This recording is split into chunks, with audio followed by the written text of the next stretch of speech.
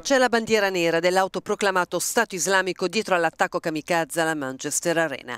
Un attacco che ha provocato almeno 22 morti e oltre 120 feriti, soprattutto ragazzini che avevano appena finito di assistere ad un concerto di musica pop.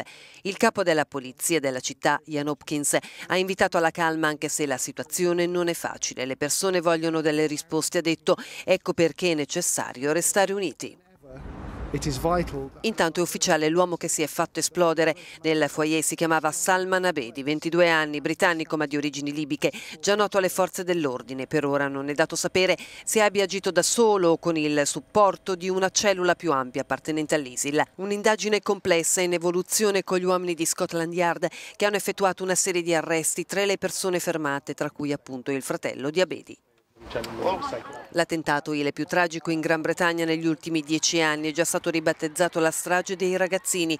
Ci sono ancora decine di dispersi, adolescenti e ventenni, di cui non si hanno notizie.